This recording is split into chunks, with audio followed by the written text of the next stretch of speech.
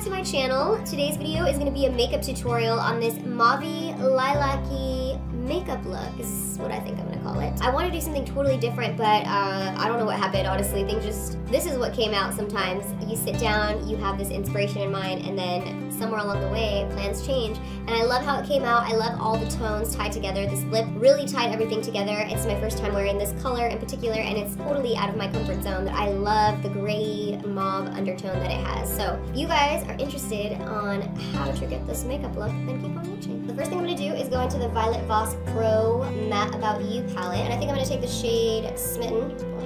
So I'm gonna go into that shade first with my Smith 235 brush, and I've already applied a base and set the base on my lid. So I'm just tilting my head back, and we're gonna go in and create the shape first. So I'm just lightly mapping out the shape that we're gonna have over here, and this is gonna be our transition shade. I'm gonna bring it in all the way over here. And I'm just also applying this to the outer V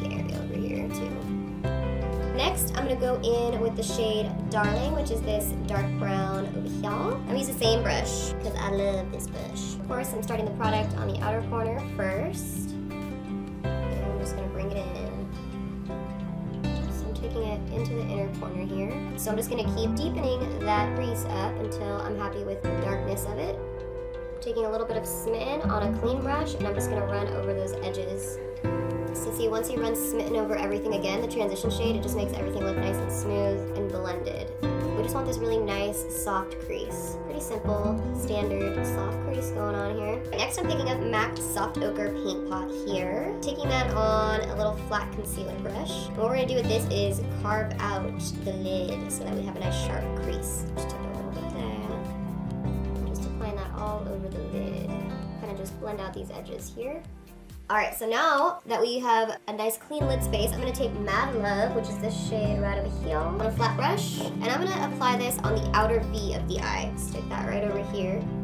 I'm using the Zoeva Luxe Smoky Shader Brush. I'm just gonna apply that to the outer V. Let me switch into the Dose of Colors pencil brush here, just so I could really smoke along those edges. But you wanna pack it on on the outer corner. Once you get to the center here, we're just gonna lightly blend it, so just kind of dust it in this way actually going to take just a bone color from the palette and pack it over here as well. Pretty much the same tone as the eyeshadow base. I just don't want it to be all creamy over here. Taking a little bit of Dose of Colors pigment, and this is in Shell, and I'm going to press that into the center of the lid. This could be a mistake, but we're going to go for it anyways. Just going to give a nice little glossy sheen. Of course, you want to blend out those edges too. So once you pack it all on and everything much off of the brush and onto your lid, just kind of wiggling around the edges so that it blends into the inner corner and the outer. Ooh, Shell pigment is popping. All right, so now I'm picking up my favorite eyeliner. This is the Bobbi Brown Golden Bronze Sparkle. We're just gonna wing it out with this. I love this liquid liner because it's so easy to use. Now I'm gonna be picking up ColourPop's liner, and this is in Crybaby. We're gonna put that in the put a little concealer on. I haven't done my foundation yet, but since we're zoomed in already, I'm just gonna put a little bit of concealer on so I can smoke out the lower lash line real quick. So I just used a little bit of my Becca Luminous Concealer in medium, just to lay down a base. Next, I'm picking up Promiscuous, and this is from the Melt Cosmetics stack, the Lovesick stack. And I'm gonna run that all on the lower lash line, and I'm using the Dose of Colors pencil brush. Just wanna keep building up this color on the lower lash line. So I'm going to pick up the Mary-Lou Manizer by the Balm Cosmetics. It's a highlight, but I like to use this as the inner corner highlight on my eyes. Alright, so to finish off the look, I'm going to use a little mascara. This is the Maybelline one. It's the Colossal Big Shot Mascara. I'm going to apply that to top and bottom, and then put on these uh, pretty crusty, but still wearable Queen Bee lashes on the outer corners of the eyes. So I'm going to go ahead and do that and be right back. For foundation, I'm going to be using the Urban Decay Naked Skin, and this is in the shade Medium. And I'm just applying that all over with my beauty blender, per usual.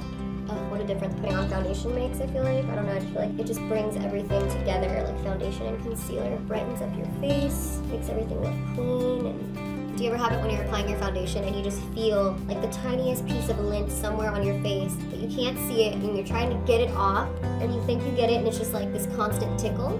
I hate when that happens. It's happening to me right now and I feel it around my nose, but I don't see it obviously I'd gravitate towards nude. I'm wondering if there'd be something that would look cool that's not nude, I know you guys would expect me to do nude, and that's what I would expect to do, but I'm trying to change it up and do something else.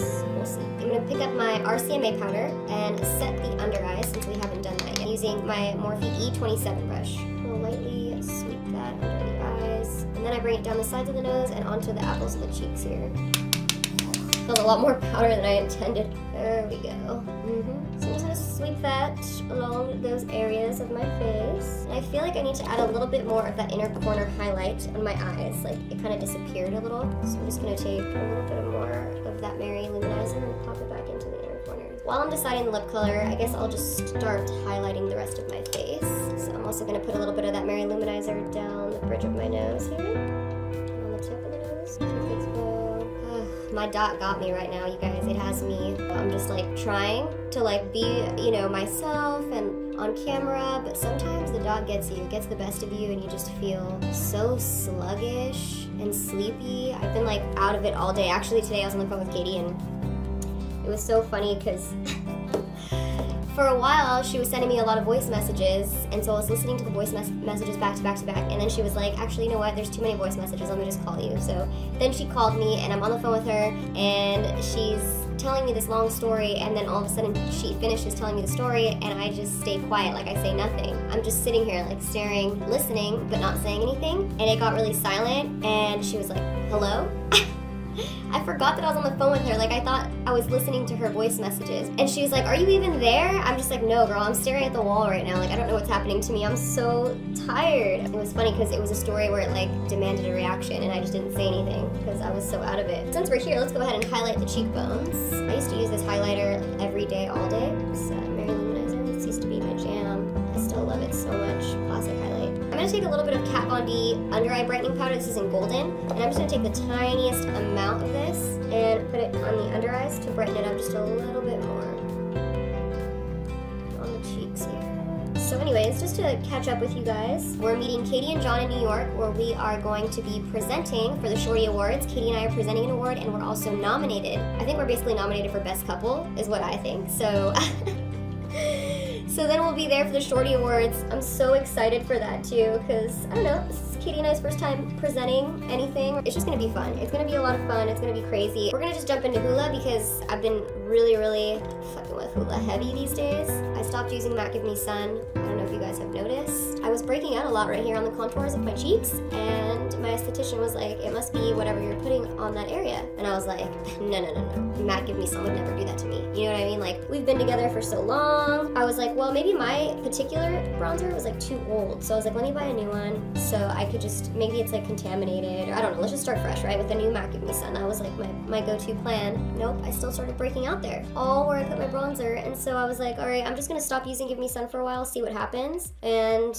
lo and behold, I'm not getting those like little bumps. I mean, I still break out from regular breakouts, but these were like bumps, like all along this area, lots and lots of bumps. So I don't know why that would be happening. I don't know if the formula changed, which I don't think it did because the one that I was even using was pretty old and then I bought a new one, it was still happening. So I don't really know what happened. That's where we're at. I'm still not 100% sure. I don't want to believe it. As of right now, I haven't been using it and I haven't been getting those bumps. What is your guys' expert opinions on this matter? This tragic matter. Katie's never been to Coachella. Katie and I are just going solo dolo. Sometimes you just kind of need a girls trip, you know what I mean? We, we are gonna go and be strong, independent women, and I'm sure five minutes in we're gonna be like, oh shoot, we have to take our own pics. We have no one to hang out with except ourselves. We're gonna be missing the boys. So I'm gonna try Moon. This has like more of those mauvey undertones, like cool, slightly purple, and then I'm also gonna use the lip liner with that. This is like kind of cheating because it's like nude, but it's not really. Say it's more mauvey, light purple. And then I'm gonna try the liquid lipstick. I've actually never worn this shade. I think this is the color. I think it looks really good with the colors on my eyes. Alright, so this is it. This is the finished makeup look. It's very mauvey, lilac-y. I ended up really loving this lip. I'm happy that I tried something different. I would never have picked up a shade like this, but now when it's dry, I actually really love the way it looks. So pleasantly surprised for that new find for me. You know, usually I would go with like a normal nude, but I tried something different today for you guys. So I hope you guys enjoyed this video. If you did like it, don't forget to give me a thumbs up. And like I said, if I was like a little, little drab, it's because, you know, But I tried to push through and I really like how it came out. So thank you guys so much for watching. Don't forget to give this video a thumbs up if you liked it. And if you're new to my channel, welcome to my channel. And I hope you guys stick around and I'll see you in my next video. Bye. Fix the top knot here, my little adjustments. oh my gosh, the cramps. think I'm done. I'm tired. I think I am asleep right now, honestly. I may not even be here. Just kidding, I'm still here.